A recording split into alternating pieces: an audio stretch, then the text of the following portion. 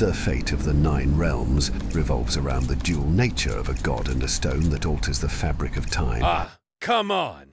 Are you really going to narrate a story in such a wise tone that no one understands a thing?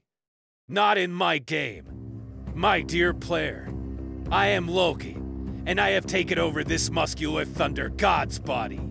I'm taking down the heads of all the gods. Blah blah. In short, we are the villains of this story. You and I. This is going to be thrilling. So, let the game begin.